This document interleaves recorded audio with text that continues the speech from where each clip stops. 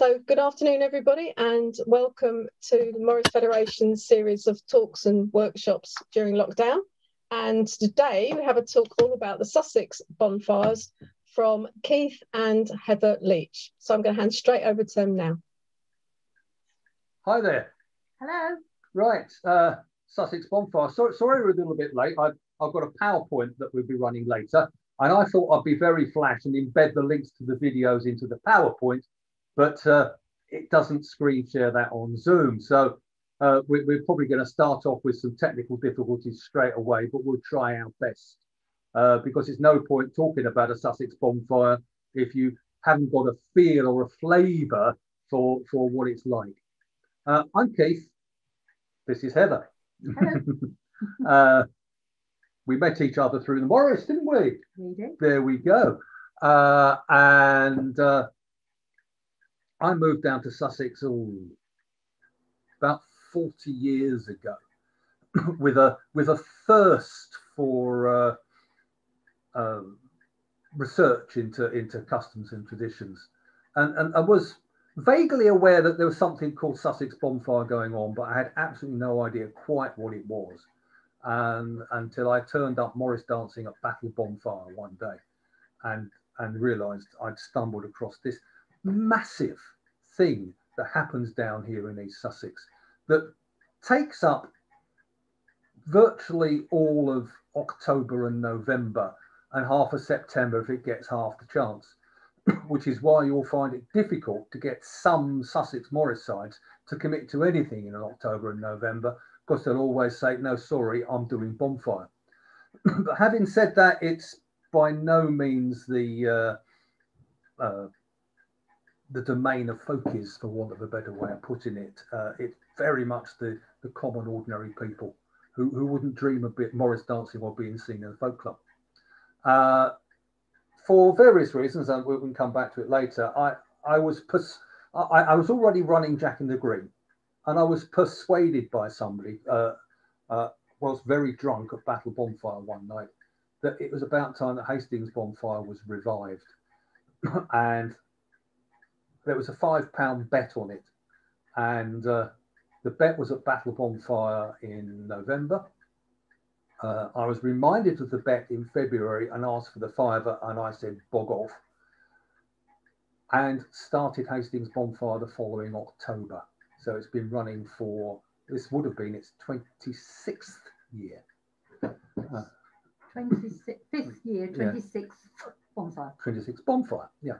Um, I was made president of the Society for Reviving It and uh, since then have got myself completely up to the neck in Sussex bonfire in every way possible, go to all the bonfires, uh, know everybody in all the different bonfire societies and I'm on bonfire council and so on. By some kind of circuitous peculiar route and it certainly was nothing to do with me heather who i'm married to has ended up being the current chair of hastings borough bonfire society we've both done our own independent research However, let's stop talking about that. Let's see if I can share a screen and show you would, what I'm talking about. I would just like to add yeah. that um, when we're talking about the season, because there are over 40 different bonfire societies around the county, that's why the season is so large and so long. And it does start at the beginning of September to the end of November every Saturday and on some Saturdays there are more than one bonfire celebration taking place. There are too few Saturdays to accommodate how many there are. And it's um, moving into Kent. It's, it, it's, a, it's a growing, a massively growing tradition. Yes, it, and yet it's so secret. So and, few and, people and yet, know and yet we're talking about processions of over a thousand people. Yeah. And crowds of 20, 30,000 people watching. Yeah. Uh, okay. Right, let's see if I can share a little bit of video.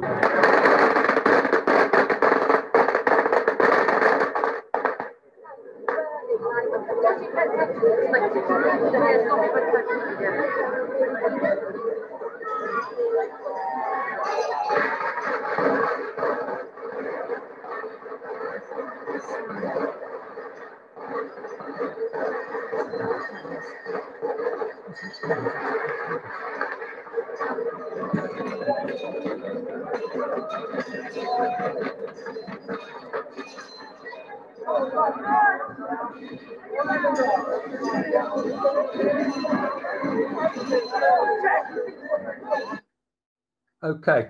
Did you see that? Did that work? Way! it gives you a feel of it. That was that was the start of Hastings Bonfire uh, 2019. Little did we know that was the last one we were going to do for some time. On, on that scale. On that scale, yeah, we've done uh, other things, but but but that was basically that was basically it. I'm sorry. Um, okay, let's share the screen now again and get into the PowerPoint and and do the the talk about where that all comes from and what it's about. Can you see that? Yes, thank you. Okay, so it's about Sussex Bonfire. There's a link that didn't work. Uh, let's uh, get talking. Heather, I've, asked Heather to uh, tell me to shut up and join in whenever she feels so inclined. Um, she occasionally has a different view on it, which is good. We look at the research and we haven't both looked at it in exactly the same way. What I can say is that people going out on the street and having parties and having a good time and dancing around is nothing new. It goes back a very long time. And certainly within this country, it was any excuse for a party. People's houses were not usually the best place for a party.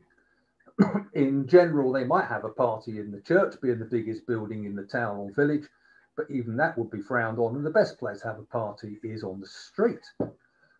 and as part of any excuse for a party, very often, this being England, they would light fires. And this would be at any time of the year. They would light a fire and basically would get a drunk, get drunk and dance around it. And that's been going on for a considerable period of time. when uh, gunpowder came into the country, it became quite commonplace to be uh, letting off loud, noisy bangs uh, as, as, as part of this uh, kind of celebration. So any excuse, and it, it's something that we've lost, uh, but it used to be certainly any excuse for a party and have a bonfire. So if anybody tells you it's all tied up with Sam Samhain fires and all that nonsense, they're just talking rubbish. Uh, yes, there might have been fires at that time of year, but there were fires right the way through.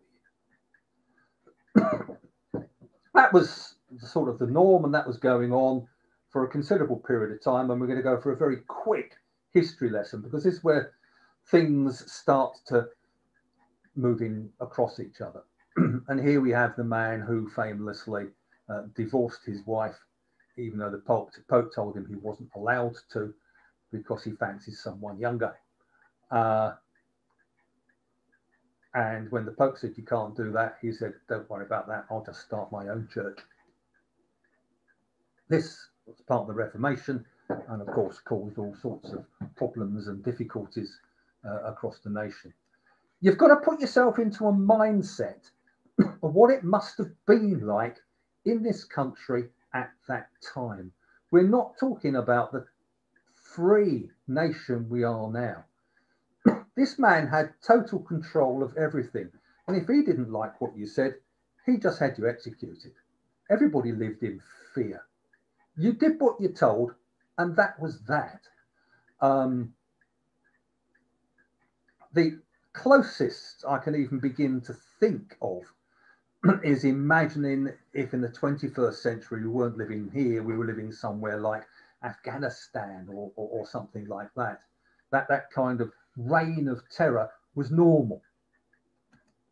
Uh, he eventually died, and his daughter Mary came onto the throne, and Mary reversed everything and put everything back where it came from. This was all well and good, but some people quite liked the reforms within the church. But being an absolute monarch again, if she didn't like what you did, she had you executed. So once again, you had to do what you're told. so basically, the country reverted to Roman Catholicism. Um, and a large number of people were martyred at that, at that time uh, for their faith on, on both sides of the Catholic Protestant divide. Um, well, we'll jump rapidly across Elizabeth, even though she had a very long reign, was, was very, very important. Elizabeth basically brought back uh, Protestantism and the Church of England, uh, and uh, but once again was an absolute monarch, and once again you did what you were told.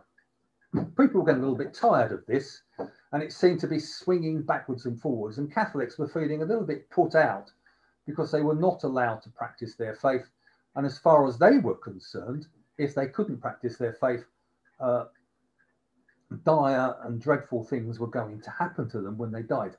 They would go to hell or whatever. And so it, was it, it was very important to them. so when Elizabeth died, James, the son of Mary, Queen of Scots, uh, King of Scotland, also became King of England.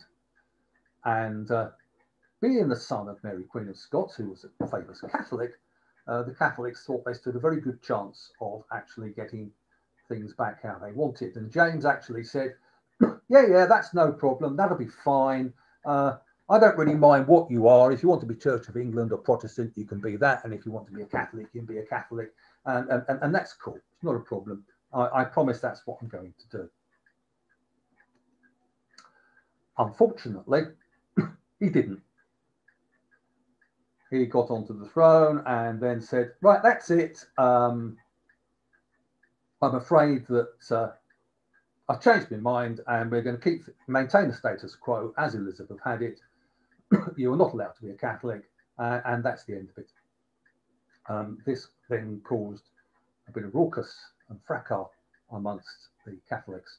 And I'll hand over to Heather, who'll tell you a little bit about the plot because I've realised I'm nattering away. Go on, That's all right. No, I was just going to say, yeah. yes, um, that because James also came with a ready-made family, uh, that meant that the succession was going to continue to be um, Protestant. This is the reason why, or one of the reasons why, the um, Catholics felt they had to take action because yes, they were being persecuted and they couldn't see an end to it because of, because there was already the next heirs and the next heirs in line. It just seemed to be um, never ending for them. And Roberts Catesby, as you can see here, um, collected the, the group of plotters and they made this plan um, as a way of um, getting rid of the king and parliament and they were going to take the princess Elizabeth and they were going to rule through her.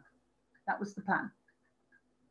And actually, Heather and I uh, spend our spend our time when we're not in lockdown, travelling around the country, not only looking at traditional customs, but on the way looking at sites associated with the gunpowder plot. But that's a, yeah. that's another thing altogether. That's another yeah. That's another uh, PowerPoint. That's another PowerPoint. we absolutely love it. Looking at the bullet holes on the walls and so on. They uh, they found a, a mercenary basically who was probably the world expert on gunpowder at the time. He had been working, uh, he'd been fighting in Spain, he'd been fighting in Flanders for the Catholic cause, and his name was Guy Fawkes. Um, these are the other plotters uh, in the, the, the famous uh, engraving of, of, of the plotters themselves. Little nice little point here. Bates on the far left of the picture isn't wearing a hat because he's a servant. All the others are gentlemen. Uh, so, on the 5th of November 1605, Tuesday, Tuesday, they had they had bought a baker's shop uh, in Westminster, and in those days the cellars of the of the shops went underneath the Parliament building. Uh, and they spent a, a, large period of time bringing in lots and lots and lots and lots and lots of bags of, uh, of uh, barrels of flour. supposedly. And these barrels of flour were, were, were, were to bake the bread. they were not barrels of flour, they were barrels of gunpowder. And uh, these barrels of gunpowder were basically all stored in the cellars underneath Parliament, to which they had free access through the baker's shop because it was the storage area of the baker's shop. and the the rhyme says it was three score barrels, but actually it was three dozen barrels. I think uh, the the rhyme changed because it scanned better. Score scans better than dozen, but it's actually three dozen barrels. 36 barrels of gunpowder. gunpowder of that quality, it's been worked out by scientists since then, would have actually blown up, uh, given the flimsy nature of the buildings in medieval, uh, in 16th, 17th century England, would have blown up one square mile of the centre of London. Um, he was, Guy Fawkes was found in the cellars with uh, this thing. This is the dark lantern that Guy Fawkes was found with. Dark lantern is much like uh, a miner's lamp where you've got you, you can have a candle inside it, but it's not going to set fire to powder until you want it to. Until you want it to. um, how was he found? Well, there was a tip off. Over to you. the famous letter to Lord Monteagle, who that said um, basically don't go to the opening of Parliament. Um, there's going to be um, a mighty blow um, and burn the letter. He didn't burn the letter. He ran straight off to Robert Cecil, the Spymaster General, with the letter. And then Robert Cecil did an interesting thing with the letter. Normally, when you have any conversation, uh, when you hear anything about the gunpowder plot, it sounds as if it all happened over one night. Robert Cecil actually sat on that letter, knowing that something was about to happen for two weeks to wait and see what was going to unravel and what he could see in front of him and all the pieces together. And only when the time was ripe did he um, take the letter to the king and then say, Oh, look at this. I've had this letter that says there's going to be this dreadful thing. What can it mean? And basically, he played the king so that the king said, Oh, it means something, oh gosh, something's going to happen at Parliament. We must send soldiers. so they sent the soldiers on the Monday night um, for the opening of Parliament. And um, the soldiers went round and they didn't find anything. All they found was this uh, chappie sitting there guarding a pile of firewood. So the soldiers went back and said, "Well, there's only this chappie with his firewood," um, and that person was was um, a person called John Johnson. And in fact, it was Guy Fawkes pretending to be this person. And they said, Well, why is he guarding all this firewood? And they sent the, the soldiers back again. And the soldiers this time uh, confronted this John Johnson. And Guy Fawkes uh, tried to escape, and then a scuffle ensued. And that's when they found the gunpowder piled up behind all this firewood. The, the, the plotters had all left London they'd all legged it up into the Midlands, yeah, uh, where, where, they were hiding away, waiting for somebody to tell them that the deed was done. And that's where Princess Elizabeth was yeah. to grab her. so, so this is the Dark Lantern. Uh, that Guy Fawkes was carrying. Um, as, as, an anecdotal story about this, given it's all about Catholics and Protestants, I was uh, first time it was put on display was actually in Westminster Hall uh, at Parliament, and, and I went up specifically to see it. Uh, and I was standing there looking at it, and, and I was completely enthralled by it. And I became aware of a very big man standing behind me, also looking at it intently. I turned round, I recognized the big man, couldn't work out who he was, but said hello anyway. And then as I walked away, realized it was Ian Paisley. That's interesting. Okay, so let's Dark Lantern again. this is to give you an idea of, of what the, the barrels of gunpowder would look like. Remember, there were 36 of these. These are gunpowder barrels, they're empty, but they're gunpowder barrels at, at, at a, a, deal. Uh, and this gives you an idea of what they would be like. Um, Guy Fawkes was uh, was tortured and eventually let on where all these people were and, and what they were and so on. and they were hunted down to uh, a place just outside Dudley, whose name has completely escaped me. Stourbridge. Stourbridge. What's the name of the house? Hornby. Oh my goodness. Oh my goodness. We'll be back to you on that. We'll back to you on that. Oh, we know it so well. We've been there. Uh, it's, it's now an old folks' home. Oh, Uh, uh, Hang on. Catesby, Catesby and the others were all holed up in there, uh, and it had been absolutely chucking down with rain, and therefore they had all their gunpowder out, laid on the floor in front of the fire, in a, in an attempt to to dry it all out, because they knew that the soldiers would be after them. They needed needed it for their muskets. um, unfortunately, they tried it a little bit too hard, and they actually blew the blew the room up that they were in the soldiers heard the bang, worked out where they were, came, and basically most of them were shot and a, a few were arrested.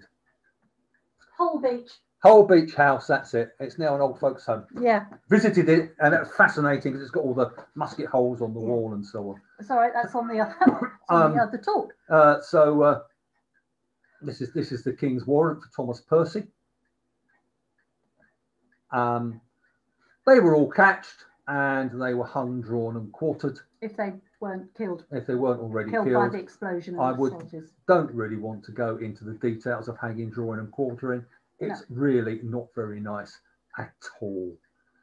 they had their heads on London Bridge. Guy Fawkes famously, rather than being hung, drawn, and quartered, as he was being hung, jumped to make sure he was dead before the rest happened. Or he was so weak he slipped. Um, one of the witnesses of of that execution was Father Gerard. Father Gerard.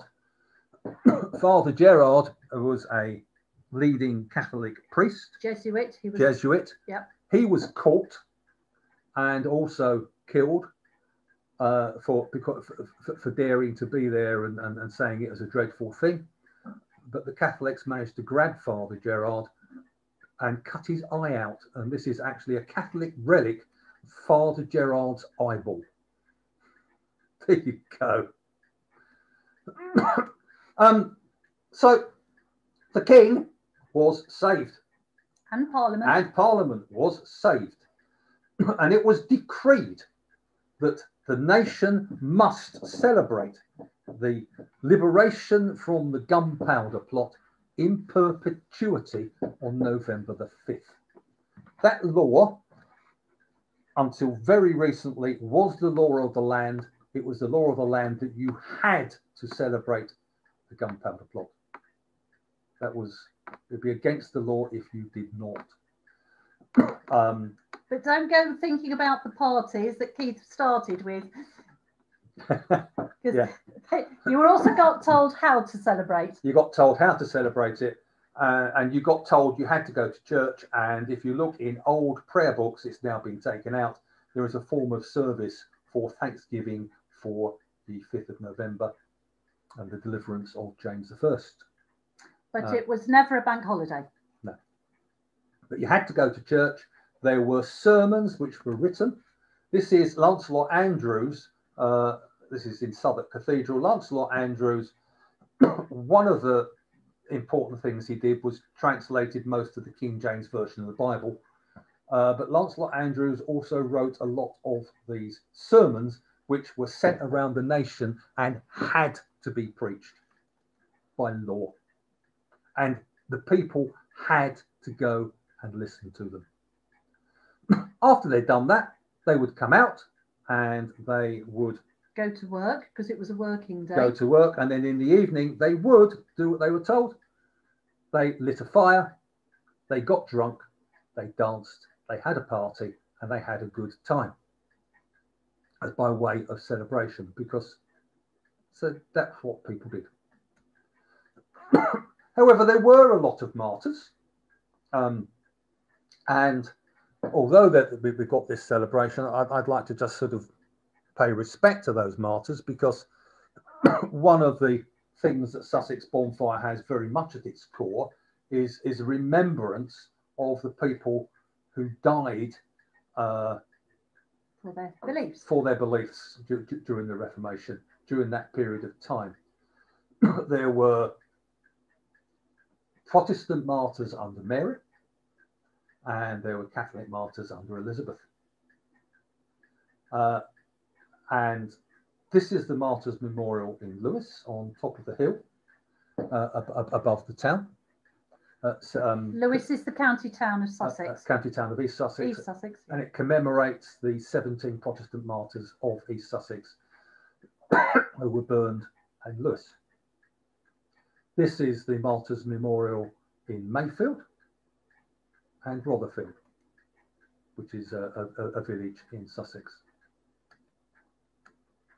Um, this is one of one of the first martyrs. He was uh, at a, a, small village called Warbleton, where he was the uh, church warden, uh, Richard Woodman, and basically, um, basically, uh, he was church warden and he did what he was told. He was a good, pious man and he did the service according to how Henry wanted it to happen. I was quite happy with it. And then Mary came onto the throne and said it had to change. And he was heard to say, as you would sometimes, I am sick of this. I just get it right and now I've got to change it again. I wish you'd make up your bloody mind. That was heard. He was dragged off to Lewes and burned at the stake. This is the uh, War Memorial at the top of the hill in Lewes. And just behind the wall, up the road, you can see a bus at, uh, and, and some traffic lights. And you can see a building to the right, which is actually Lewes Town Hall. Just in front of Lewes Town Hall, just up from the War Memorial, just in front of those traffic lights, is where the Lewes martyrs were burned at the stake. And here on Lewes Town Hall is uh, the plaque remembering because the uh, dungeons where they were kept are, are still there. And uh, the, the steps going down the dungeon. So they were just taken up the steps from the dungeon straight into the street and burned. Lewes is not the only place with martyrs. One of the things that Heather and I have started to do, and it's just by accident rather than design, we started noticing these martyrs' memorials all over the country. And whenever we see one, I collect it. So I've become a collector of martyrs' memorials. And this is the one in Rochester. This is the one in uh, one in Sussex at a place called Punnettstown. All the ones in Sussex were burned at Lewes. Um, this is uh, on a pub in Brighton. The first Protestant martyr lived in the brewery. It's now called the Black Lion. this is, uh, you can't see it very well, it's a fire back in, in Lewes and it's actually got the martyrs on it being chained together. But uh, I've, I've, also spotted them in Martyrs Memorial in Bury St Edmunds. They're, they're, I've spotted one in Maidstone. They are all over the place. But let's not forget, because I think it's important, the Protestants were not the only martyrs. When Elizabeth came on the throne, there were other martyrs. Margaret Clitherow, one of the more, more famous, who of York, who was laid on the bridge in York underneath her own front door, and stones were piled on top until she died.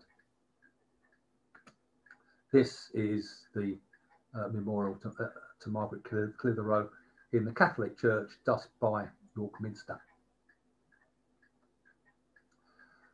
this is Thomas Pilcher, priest of Battle. Battle is one of the big bonfire towns in Sussex. Thomas Pilcher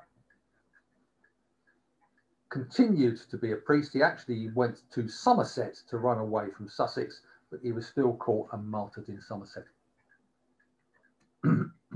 okay, so we, will go through those Marian and Elizabethan persecutions.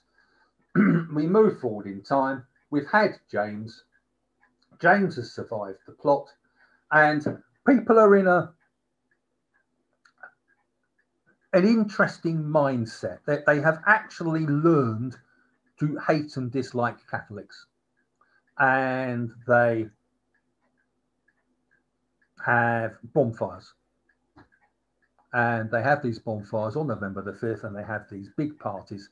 And they've taken to burning effigies on these bonfires of the Pope.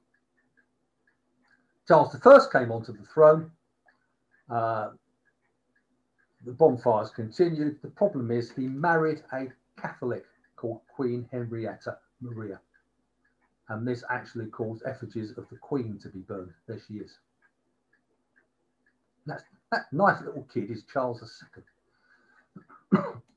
um, these bonfires, um, well documented. This is Pepys, who documented that in London on the 5th of November, fires were burned in the street all over the place with much raucousness, much drunkenness, letting off of squibs and dancing. So, and lots and lots of burning of effigies. the rise of the Puritans. The rise of Puritans. I'm going to grab myself a drink because you can talk about. I was going to get you a drink of water. Uh, right. You go. Oh, okay. Uh, uh, I take um, I take more of a political view um, on on the importance of how bonfire came into being. But the rise of the Puritans took place at the time, and obviously Cromwell eventually um, became the protector and um, continued the uh, bonfire celebrations of the gunpowder treason plot because um, both the in the Civil War, both the Royalists and the Puritans could claim that God was on their side. God had, cha- had saved the king from being blown up, but God had also saved the parliamentarians from being blown up, which is why, unlike Christmas and unlike spicy foods and dancing, the um, the celebration of Gunpowder Treason Day could continue through the Civil War and uh, the nine years after that because of, uh, well, because God was on our side, whoever you were. And I believe this is really what made November the 5th big. Because up until then, it was still any excuse for a party, it's still any excuse for a bonfire. And Cromwell effectively stopped all those parties. So November the 5th became about the only day on the year where you were allowed to go out, light fires, and get drunk. And this is where I say it's political because it came from the authorities, and the authorities will only allow what they will allow. If they don't like it, they won't allow it. And this is something that they promoted at uh, this time. Um, there's an interesting little Hastings connection. This guy was the curate of All Saints Church, where I was this morning actually, and uh, it's Titus Oates, and he actually put about that there was a, a, a papal plot to bring down the the king. There wasn't, but it did contribute to the uh, fervour and excitement of Bonfire that year. That's part of the reason why bonfires are so big in Sussex. He was actually pilloried in the end, but uh, he, he kind of fanned the flames, for want of a better way of putting it. Um, this is James II, Catholic, who basically was told to get lost and was replaced by William and Mary uh, to make sure that the Protestant session uh, continued. Um, that once again fanned the flames and made the bonfires even bigger and of, of greater relevance. Pope burning became a very, very important and significant part of, of the bonfire custom and continues to this day in Lewes and Newark. The other towns in Sussex have ceased Pope burning. Uh, they used to all do Pope burning, but they they stopped doing it basically when uh, Catholics came back into the country because it just didn't. Uh, after World War One, really, when they were fighting together with Catholics and realised they didn't have six heads, they weren't a threat, they weren't going to cause any problems. Um, and, and, and therefore, other than in Lewes, where, where they are consider themselves to be upholders of the pureness of the tradition, everywhere else it stopped. There's an interesting anecdote about Hastings uh, when, when the Hastings Bonfire Society went out in 1880. Um, the new Catholic church in, in Hastings had just been built and it was surrounded by police and militia to protect it from the bonfire societies because they were expecting problems and expecting it to be burned down.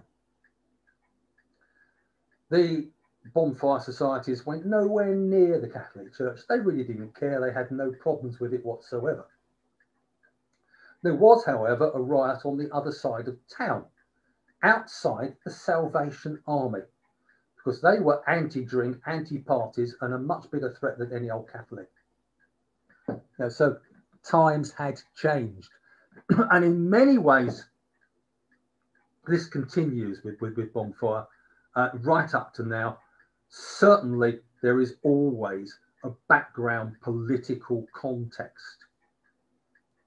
It's no longer the Pope, unless you're in Lewes and they insist on doing it because that's what they've always done.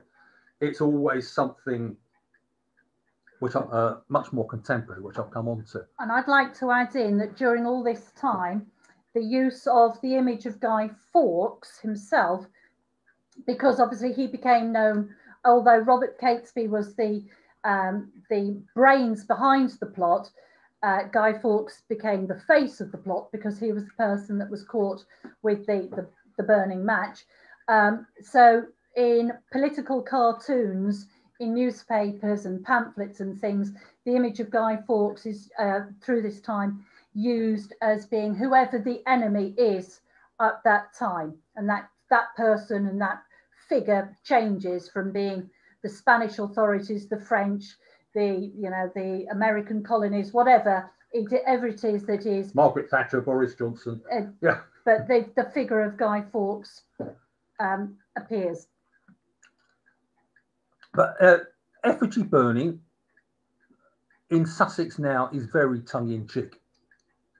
Uh, but it, it does go back to, remember I said, imagine that uh, in those days, you, you know, it's like living in Afghanistan now. And therefore, effigy burning, very powerful image.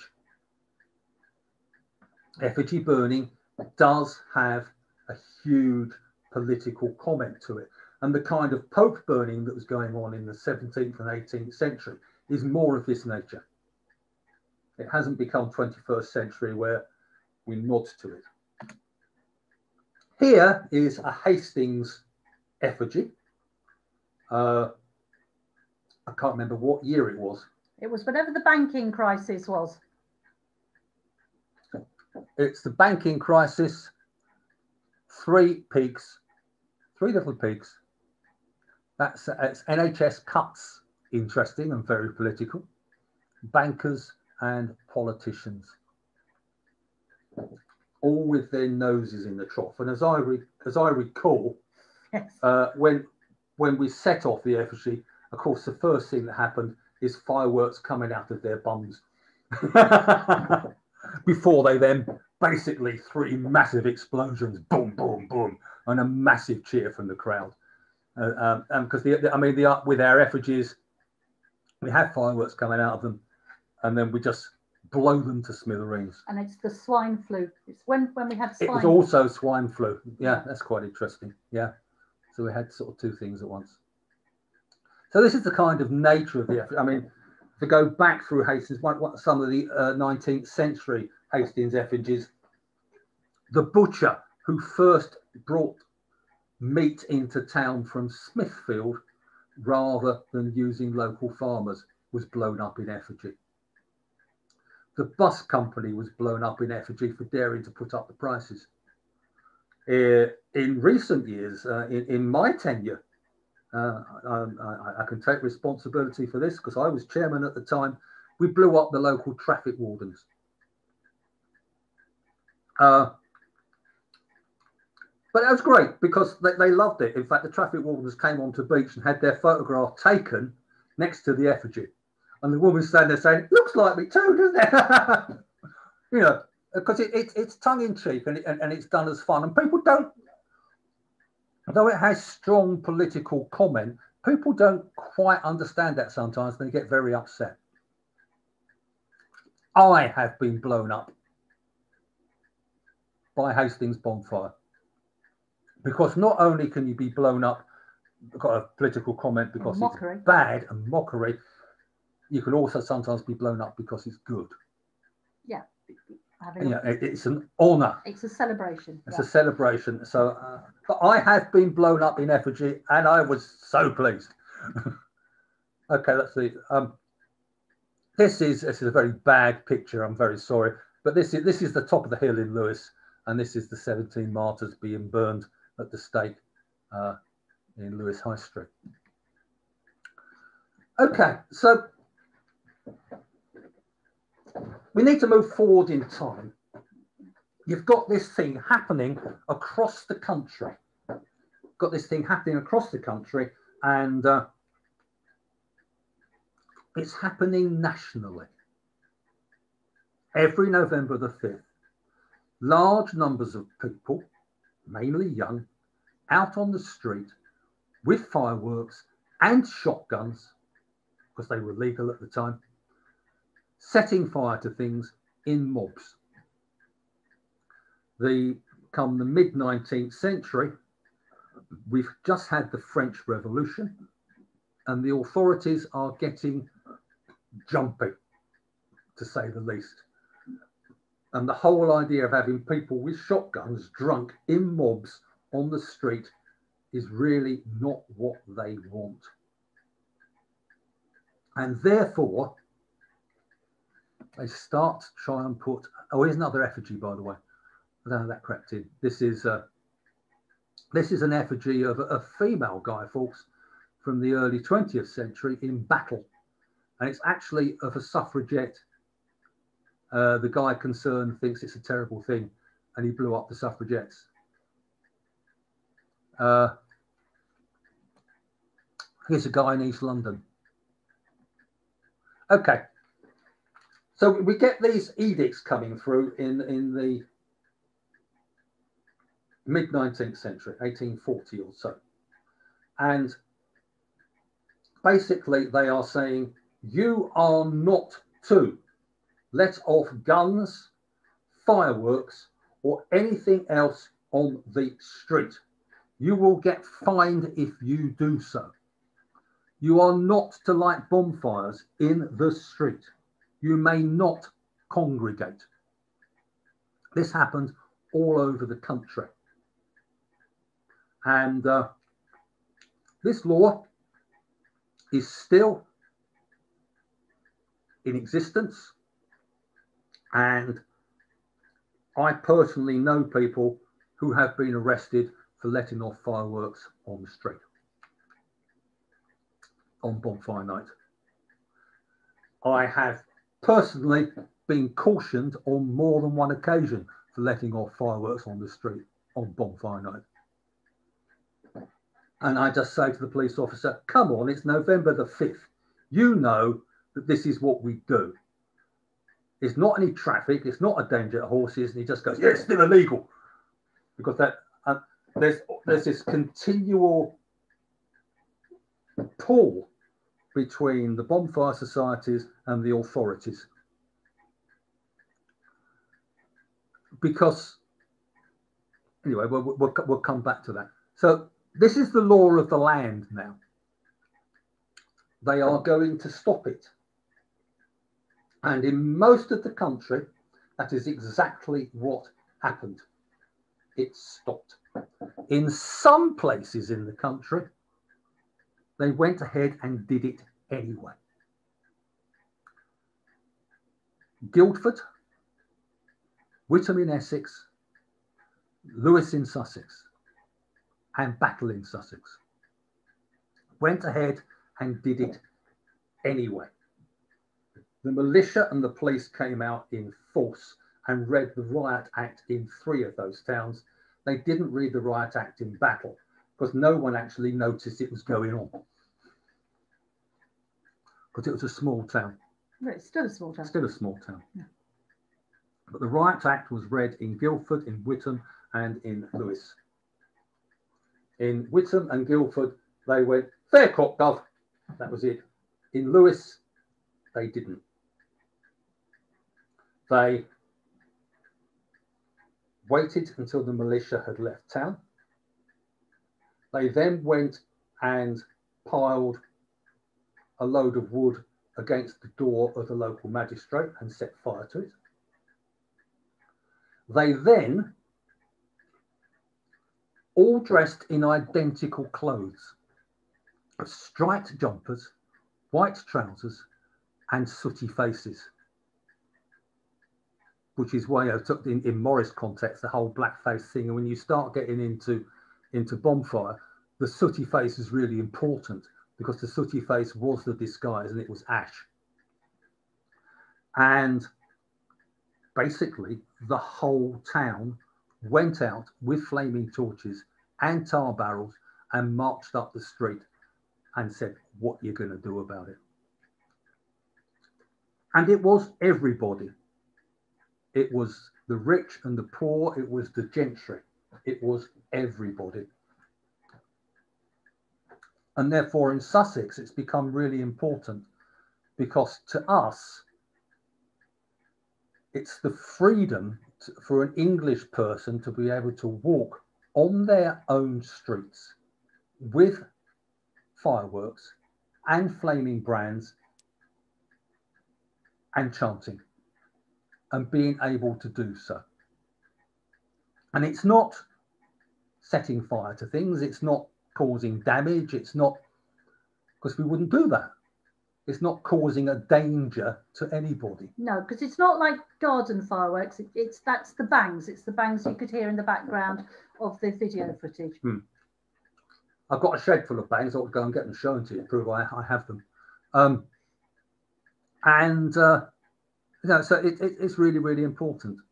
And basically, the authorities couldn't stand against the whole town. And so they went out and they did it, all dressed identically. That happening in Lewes, word spread to the rest of, of, of the Yeah. county because it, it happened in the county town. Yeah. And the, the following year, every town in Sussex was back doing it again, and the authorities never stopped us. But what's happened is it's grown bigger and bigger and bigger. The striped jumpers and the black faces have been replaced by various forms of fancy dress. And I could go into great detail because these fancy dresses are all important, they're all significant, they all mean something, they all show various ranks within your societies. Um, and you, you can tell the ranks within a society. The ones that are wearing stripy jumpers are the new members and, and what you might call the, the foot soldiers.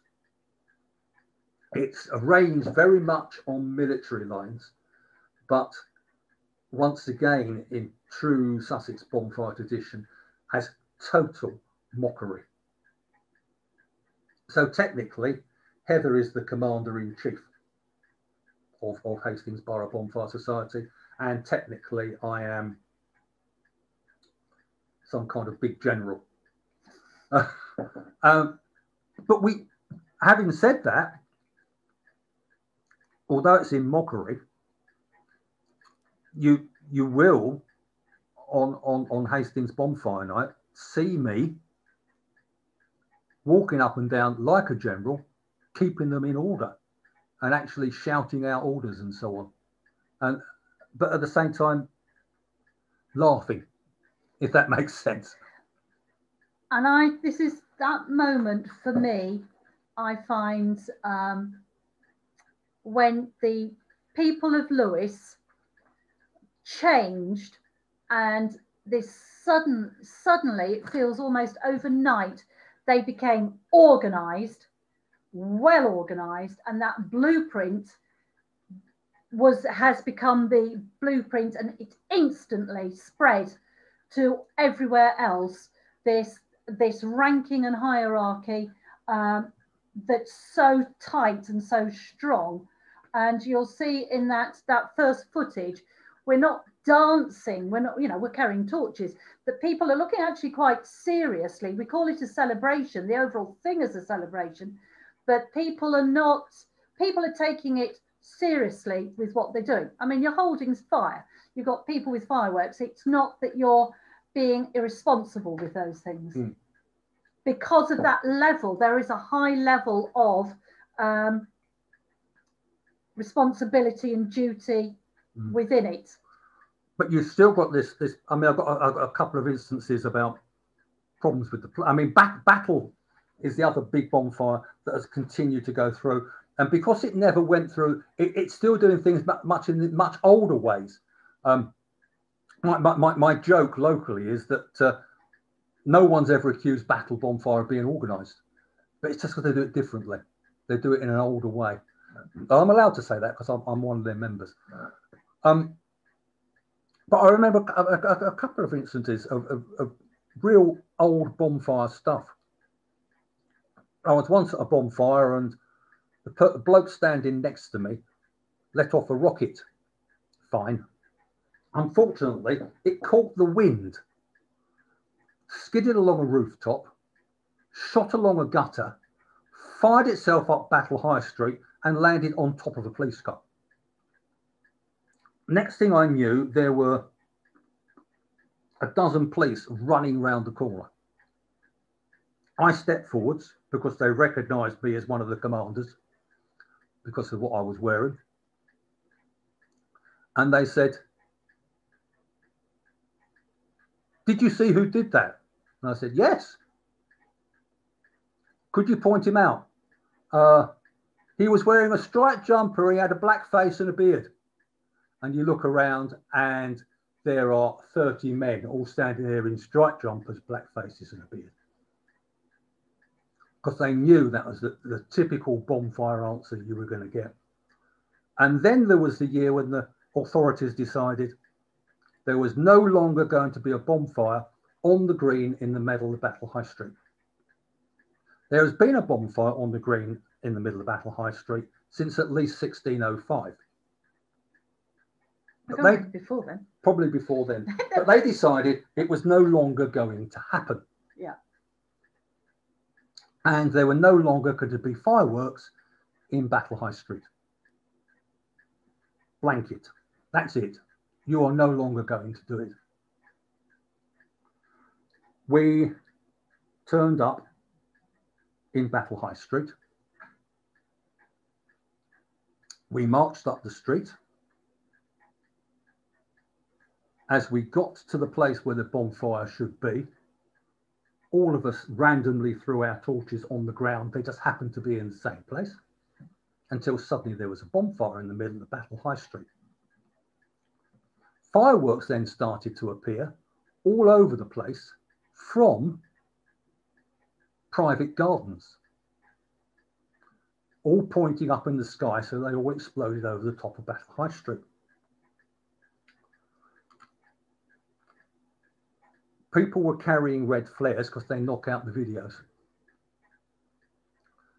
On a given signal, I ran up an alley, being chased by 30 police, I would guess, who eventually caught me and said, one of the commanders in chief, what the hell's going on?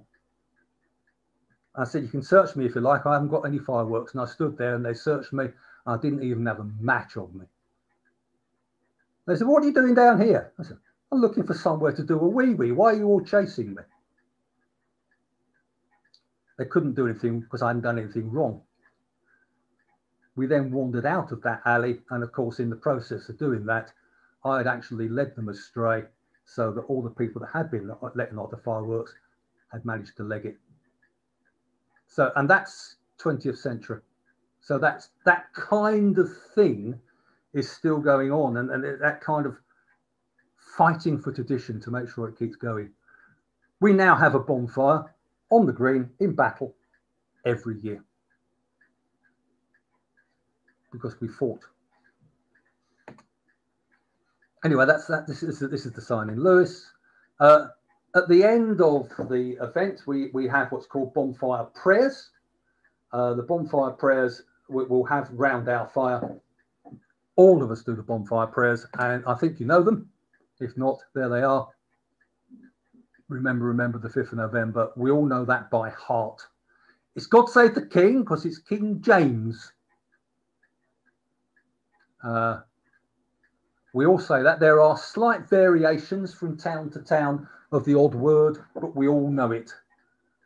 Uh, in Lewes, they still do verse 2. All other towns have ceased to do 2. Uh, and, and that's there. This is that night in Lewes I was talking about where they all turned out dressed exactly the same and were organised. I mean, totally organised with banners and everything. They managed to do that virtually overnight. So you get this, as I say, things have moved on and, and, and that disguise has now become costume. And some of the costumes are absolutely incredible. A lot of the bonfire societies have fancy dress competitions.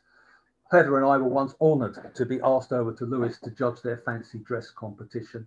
I've never seen anything like it. And the attention to detail. And each costume is significant. It, it belongs to a certain society. And for us in the know, we can tell by the costume what the rank of the people are. Uh, is the one going a bit further back, the, the uh, Cavaliers. These costumes, these are the ones that caused all the fuss. The Lewes Zulus, uh, the Lewes Zulus uh, no longer exist because they got caught up with the blackface arguments. Uh, but they were they were astonishing costumes. Uh, this is John Honeysett and his wife, sadly no longer with us. fortunately, I got to know John very well and I've managed to record him because he was the oldest surviving bonfire boy in Sussex and had a lifetime's worth of stories going back 90 years and I've managed to get him down, which is significant. So here's to John. He was a great man. Bonfire boy since he was born until he died. This is uh, this is Hastings. Hastings was famous for its giant guys, uh, and still is. Um, we now have a giant guy that we don't burn, mm-hmm. uh, but they used to be burned. That's what was being pulled in the original yeah, that's video. being pulled. And here's a, here's another Hastings guy. Here's another Hastings guy. These floats and so on. Burning crosses have become important within bonfire societies. In Lewes, they will have 17 burning crosses for all of their martyrs. That's quite a sight. And it's quite a sight. And uh, I've yet to be honoured to ask to carry one, but I think if I play my cards right, I might one day. I hope that's one of my Ooh. one of my bucket lists is, lists is to be asked to carry one of the crosses. Oh golly, that's that's a real big bucket list. I didn't know that. yeah, uh, and uh, Hastings had no martyrs as such, but we still have two crosses uh, on our fire site that, that we burn, basically in memory of all people who have died for their faith, whichever side they were on. This is Rotherfield, this is their crosses for their three martyrs. These are the bonfire towns of Sussex as they currently stand. Uh, you can see to the left, to the west, you've got Lewes, to the east, you've got Battle. And these are the two centres from which everything has sprung out. And they're different in nature. Lewes is very fancy dress, very fancy dress. And all of the towns around Lewes are very fancy dress. Battle is very, Battle used to be the centre for gunpowder making in England That's where all the gunpowder was made. So battle is very fire, big bonfires, and massive bangs. And so all the towns are on, on, on the eastern side of the, of the county, uh, we, we, they're actually called the Senlac Group, uh, are, are known for their massive explosions and huge fires. And all the towns to the west of the country are known for their fancy dress. But having said that, as, as with the Morris, there, there's lots of crossing over. And, and, and, and, as with the Morris, as you move across the county, you can actually see changes in style as you move across. So, so, so Hastings is very much a battle type bonfire. Um, and Seaford is very much a Lewes type bonfire. It is a massively growing tradition. I say 40 bonfires through the season. It's now creeping into Kent. You can see Hawkhurst at the top. That's in Kent. And it's still moving out. Tunbridge Wells are talking about reviving their bonfire. Lamberhurst. Um, Edenbridge have had a bonfire for a long time. That's in Kent. They're all around the Sussex border, but it's growing. It's growing into Hampshire. Uh, you've got Littlehampton over to the west. It's growing, growing, growing. And they say it's very much of the people. And when the town has its bonfire, everybody knows. I mean, they're all out. At Hastings bonfire, I would expect 40,000 people to be on the street watching. And something like 2,000 people within the procession. Lewes, it's bigger than that. The population of Lewes grows four times over the overnight. it's become such a problem in Lewes that they closed the railway station to try and stop people getting in. It is it is so big. Battle is massive. Uh, it is a growing tradition, and every year a new bonfire society will pop up. Uh, this, is, this is Cliffe way back before they grew big. The, the whole thing had nearly died out. Uh, come the end of World War II, it had nearly stopped. Cliffe is one of the bonfire societies in Lewes. In Lewes, yeah. There are, there are Uh, more it, it nearly stopped come the end of World War II. In, in, in the blackout in uh, in the blackout in uh, World War II, uh, Battle Bonfire lit a candle underneath a bucket on their bonfire site to make sure the tradition continued. come the end of World War II, virtually every bonfire society had ceased virtually, but they still managed to continue. So this would be post-war uh, in, in in Lewes, but there were still people going out making sure the tradition continued. I actually did some research with Gal Duff. We went around some of the old folks' homes in the Battle and Lewes area and asked people about bonfire. And they were all people that have been through World War II. And they all said, Do you honestly think after all those bangs we wanted any more just for fun? But bonfires started to really properly revive in the 1950s, 60s, 70s, and 80s. And now in the 21st, 21st century. I mean, it's uh, 25 years ago, there was a big resurgence and it, it, they've just grown and grown and grown and grown and grown. But they're, they're pleased to say that Hastings has an almost unbroken tradition, which is great to feel part of that. Uh, okay, this sort of old posters and things. The battle guy is of great interest because the battle guy is the oldest guy in the world. Its head is made from pear wood, and what they've always done is they've always taken the head off and burned the body until they had a body that was so good that they couldn't even burn that. But it is the, not a, the Guy Fawkes effigy. Uh, there's absolutely no doubt about it. Do we want to That, that, that's fine. That that is that is the that is the oldest guy in the world, and there it is in 2019, and you can go and see it in the museum in Battle. And uh, I have had the honour of, of actually going up and touching it, you know, which is really quite something. We don't know quite how old it is because they, they, they don't want to carbon date it, they don't want to spoil it, but it's a, probably a 400 year old head. That's not a guy, that's the guy. Right, this is just the end of Battle Bonfire 2019. By the way, those that people that are in the Morris, that guy to the left is a certain Reese Ballman. Hit it, Tom! That's Hastings colours. That's Hastings. This is Hastings Bonfire 2019.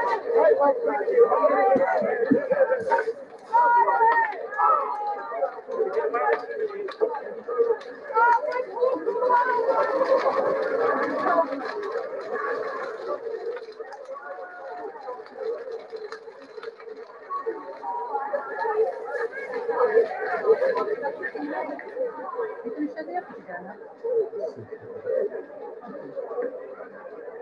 não, não, não.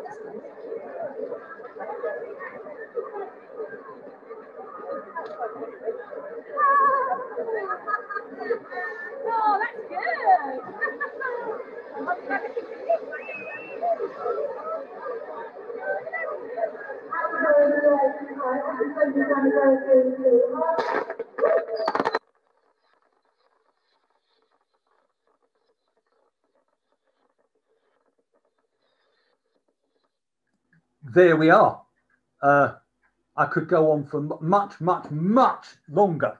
Uh, that really was truncated to say the least. I'm sorry. A bit of an enthusiast on this. I mean, I, I started as a Morris enthusiast, but this is in, in many ways completely overtaken. It's it's so massive, and it's, it's it's an honour to actually feel part of a living tradition that I've actually had to genuinely fight to keep going.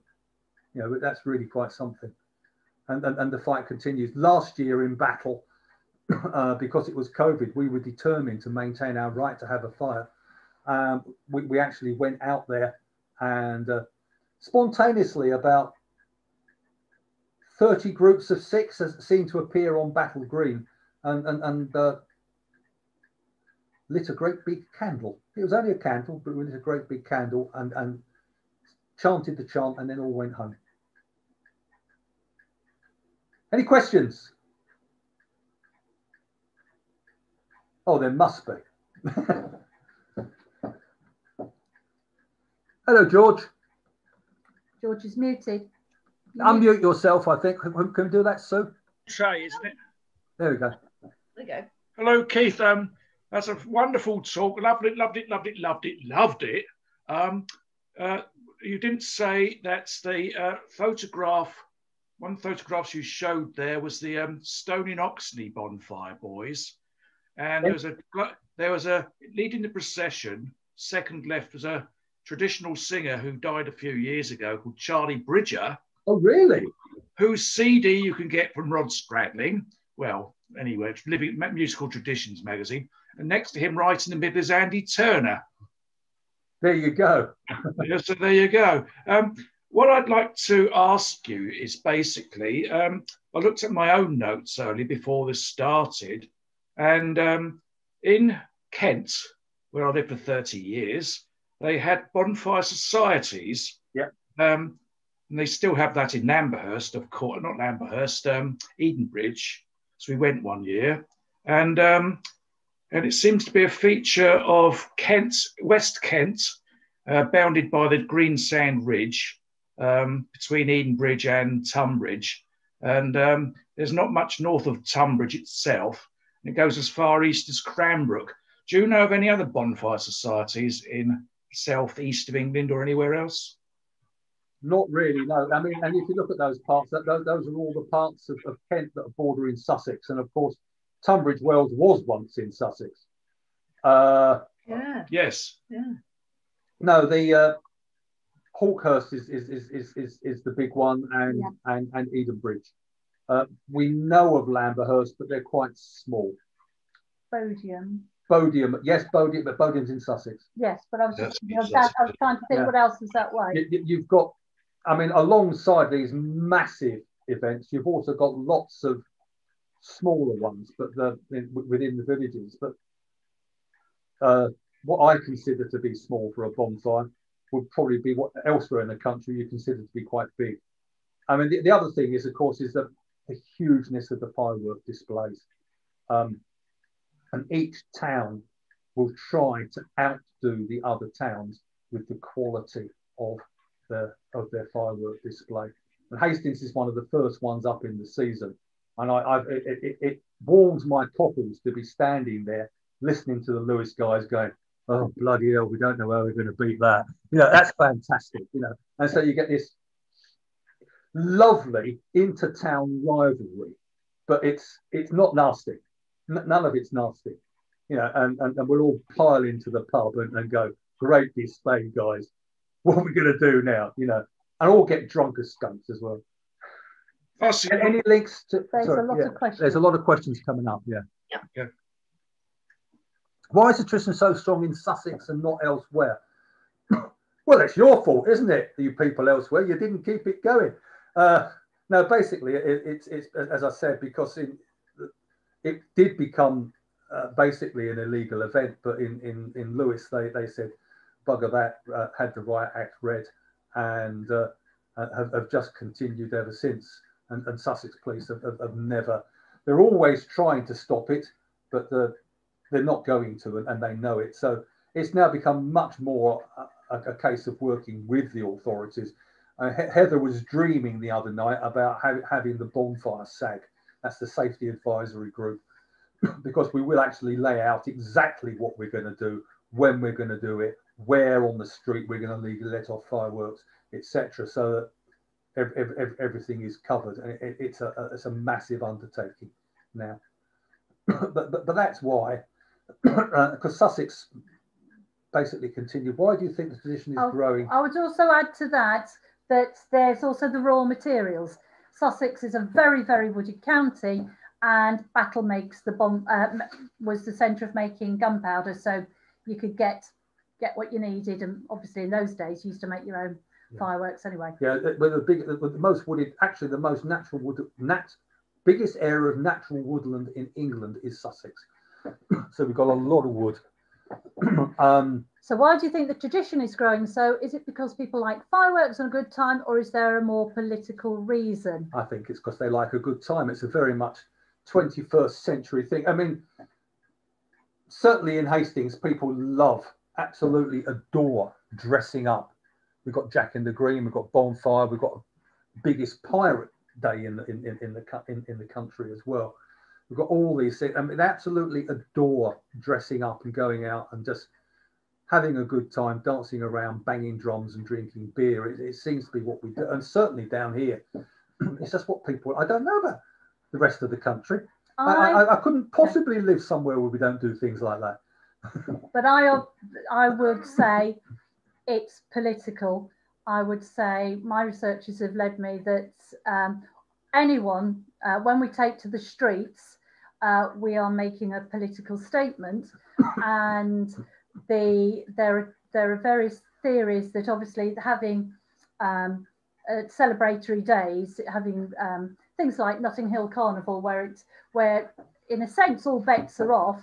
Um, that's a kind of re release from the pressures of society, but at the same time, it does make the authorities very nervous because you don't you never know what a group of people on the streets are, are going to do. Um, at what point can it turn um, unpleasant um, and become uh, a mob? So there is always a, that there is always that friction. Um, and those of you that um, have uh, know anything of the theories of the carnivalesque, that the um, anything that's that has excesses associated with it.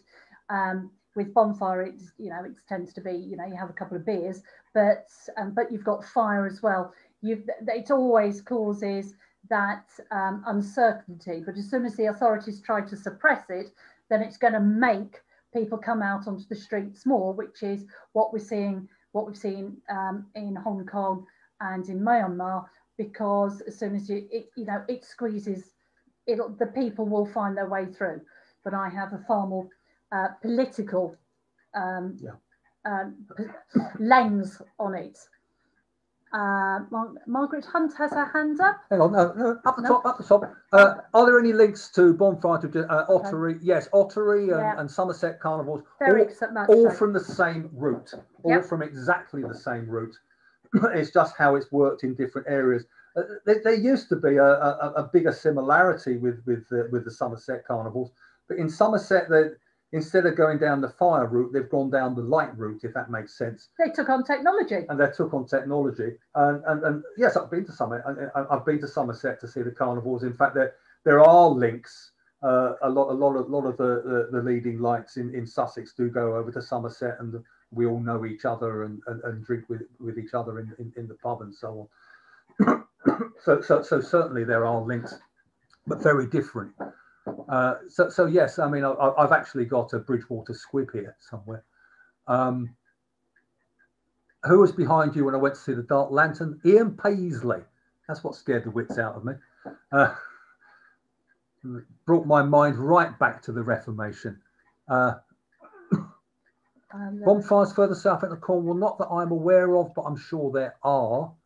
Uh, there Is there a, a website where all the dates are? Yes, if you, if you just type in Sussex bonfires, they'll come up. Although this year we're it's all a bit weird because we're still trying to work out what we can do if we're allowed to do and so on. but uh, basically, you you kind of know you work from the November the fifth, and you know that on the fifth it will be Lewes. The Saturday before the fifth it will be Battle. The Saturday after Battle it will be Rye, and, and, and so th- there is a pattern. You'll know that Hastings is always the Saturday after the 14th of October because that's the Battle of Hastings.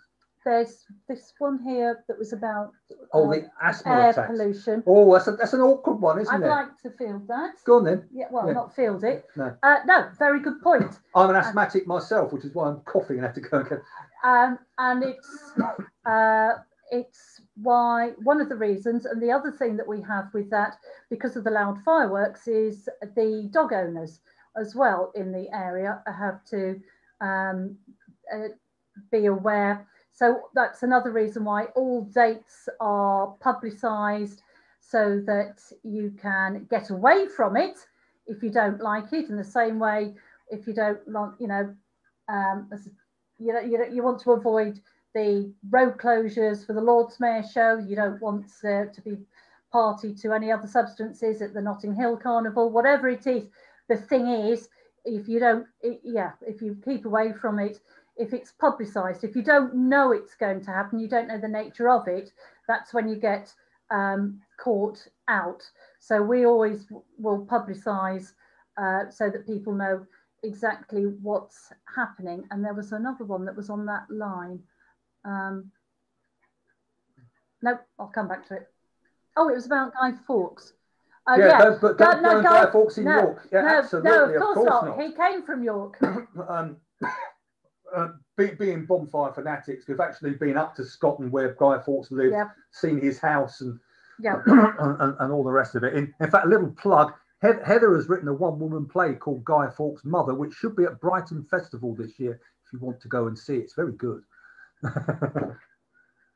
uh, We've got Margaret Hunt's been waiting. Hey, we, we tried to find Margaret. Oh no, it's just on oh, Margaret. Could you unmute yourself and ask your question, please? Oh, Margaret. Hello.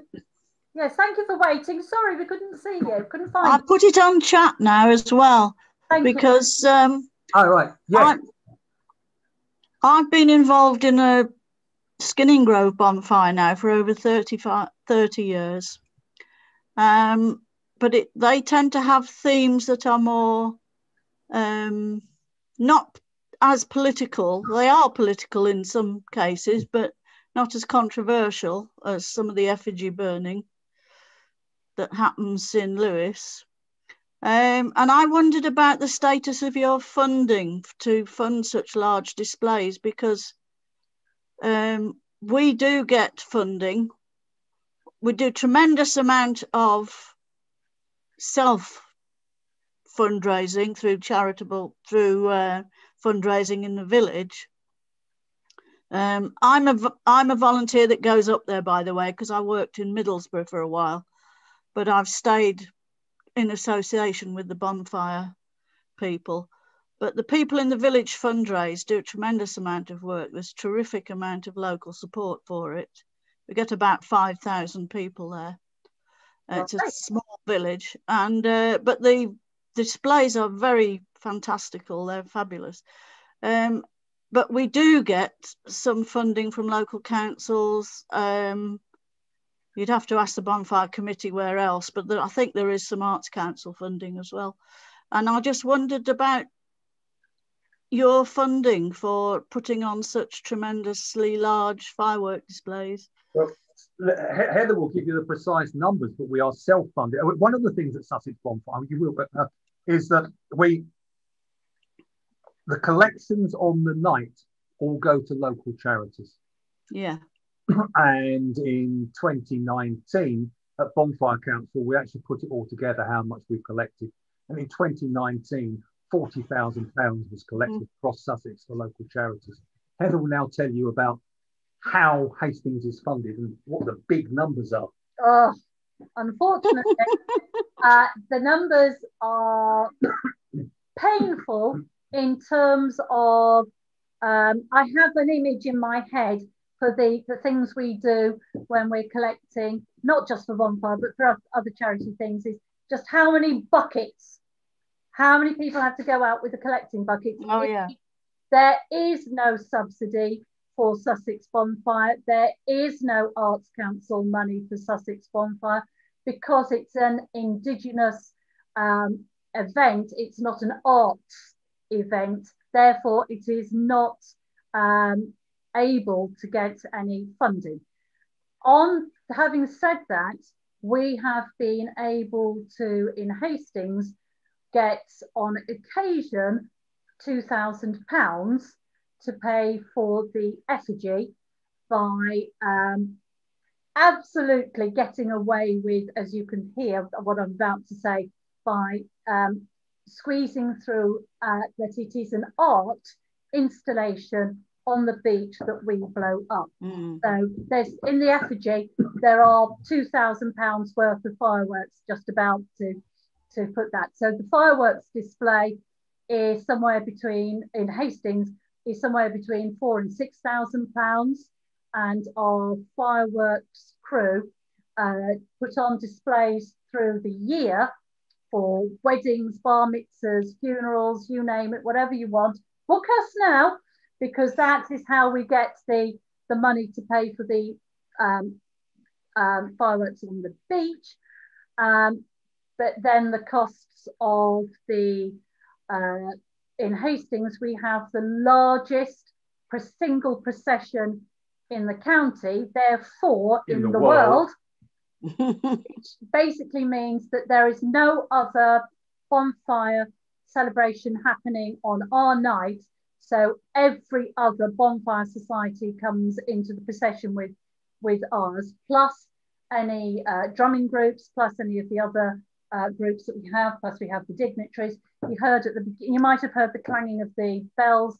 We have the National Town Criers um, all assemble in the, our procession as well. Blah, blah, blah. But um, we've basically got this massive procession with people carrying fire torches. So the uh, you know you're talking four thousand pounds insurance money for the procession and the bonfire on the beach, and that's without then paying for the security on the road closures, etc., etc. And it's all self-funded. Margaret, you're muted again, Margaret. Margaret, you need to unmute. Mute. I would like to come back just on one point that you said. The Skinningrove bonfire, I would say, is very much indigenous. Um, it's grown from, I was there at the first one in the 1980s, and it's grown from a very small event into that's gradually involved the whole village. And it's become, it is very much um, an indigenous event there as well. Brilliant. Please tell us how you got the money. But we don't want to take money from you. Yeah. But please tell us what, where this I mean, you usually golden pot of funds is. We would love. Well, to- I mean, it's not by the the amount of fundraising that goes on in the village is tremendous. Yeah. I mean, it by no means covers. Yeah, absolutely. The whole I mean, that, that's how thing. it's done. Usually, have a, a look at the have a look at the website. local pubs they local pubs do very well and they're usually very keen to put money in but this year we're not quite sure if we can go and ask them no know so our, our major sources of funding have kind of dried up because they haven't been existing yeah i suspect that we're probably going to have to go to the town to the people of the town and go help and I would be surprised if the town didn't just pull together and said, "Of course, we're going to support our own bonfire. It's important." Yeah, it is like you will have it exactly as you've described in Skinningrove. it is an expression of your community's um, ability to do that. One long-standing bonfire member once said to me, um, "Well, it's not a, an achievement um, and we haven't been working together, if it hasn't been a difficult thing to put together, then you don't get the sense of achievement. I remember once the guy who was the secretary of the club where we once met came up to me and said, uh, I'm absolutely astonished by you lot, the amount that you do. I said, and, and, and the thing is, he says, you are all ages, from big to small, and you're from across society. You've got everybody from magistrates you know, to to fishermen and everything in between, and you're all putting together. And I said, yeah, because we're the town and that's what we do. And it, it, it is a part of, of, of borough pride that we, we will try and outdo Lewes.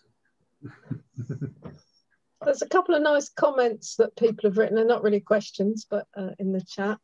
No, you're right about St. Peter's School.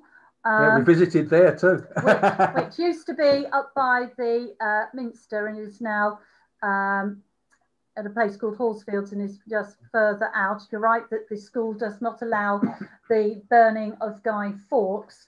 Um, and I was when I discovered, and this is decades ago, that, um, that obviously after Guy Fawkes had been killed, that actually his family was still uh, around and wondered how on earth they, they would have coped with that. Um, so look out for her play, Guy Fawkes' mother. Uh-huh. Any other questions? Sorry, we've gone on a bit. Oh, yes. I wish you did still have your 1969 notes of, of that. Hmm. Okay, so but uh, yeah, we're just running just running a little bit over. We started a bit late, so we can take another question from Coral. Um, can you hear me? Yes. Yep. Um, just what you were saying about the Fawkes family, I was quite surprised. We have, I think it was our weather in the west here. Um, I'm in near Bath in um, Wiltshire, and they were talking about something, and he said his was a great, great, great, great, and his name is Fawkes. I can't remember his Christian name, but I hadn't realized. So he's one of our weathermen, and so there's still somebody in the Fawkes family here. Yes, Chris Fawkes. Yes, yes, yes, yes, yes. It's it's um yeah, it's, it's yeah. Would you really want to have that name? Uh, He's quite proud of it. yeah, yeah, I can imagine now, but. They were teaching him about something, yes. Uh, anyway, thank you. It's been a fascinating talk. Sorry, I, thank you. Okay, I think we're out of time. So um, can we just everyone unmute themselves and give a big round of applause to Keith and Heather. Thank you. Thank you.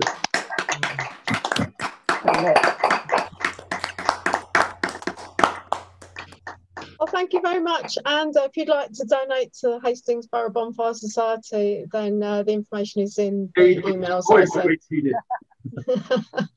okay. Well, thank you very much for coming, and I'll see you at the next talk. Lovely. What a lovely afternoon. Thank you.